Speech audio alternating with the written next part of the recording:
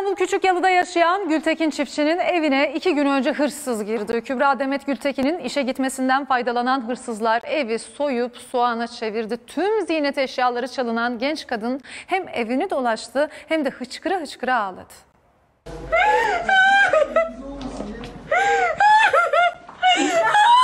Evinize geldiğinizde böyle bir manzarayla karşılaştınız. Aynen.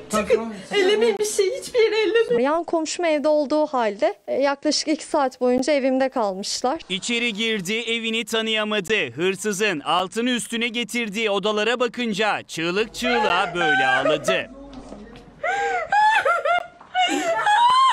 Ev gördüğünüz gibi bu halde evimde yaşayamıyorum, yatamıyorum. Bütün kıyafetlerim üzerine basılmış.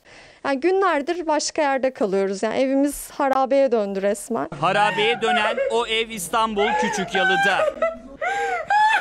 İki gün önce Kübra Demet Gültekin sabah kalktı, hazırlandı ve işine gitti. Çalışmaya başladı. Ondan 20 dakika sonra iki hırsız işte bu evin yolunu tuttu. Kolayca kapıyı açtılar, içeri girdiler ve hemen işe koyuldular. Hırsızlar yüklü hafif pahada ağır ne varsa aldı götürdü. Evin başına geleni yan komşu kapıdaki tuhaflıkla fark etti. Kübra Demet Gültekin'in hemen yan komşusu dış kapının zorlandığını gördü. Yerde de talaş görünce şüphelendi ve Kübra Hanım'ı telefonla aradı. Kübra Hanım apar topar tekrar evine geldiğinde ise işte bu korkunç manzarayla karşılaştı. Hemen yatak odasına geldi çünkü değerli eşyalarını burada saklıyordu. Hemen onlara baktı ama ne yazık ki hiçbirini yerinde bulamadı.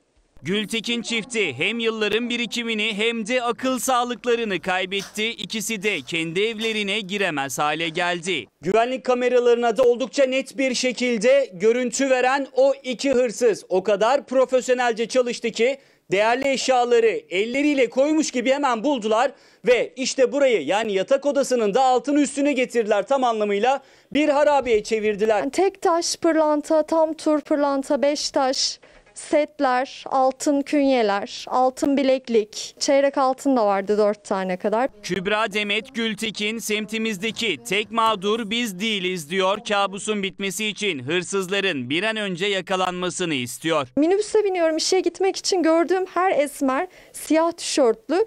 Hani kaşlarından belli oluyor burnunu da görüyorum zaten. İnanın korku yaşıyorum.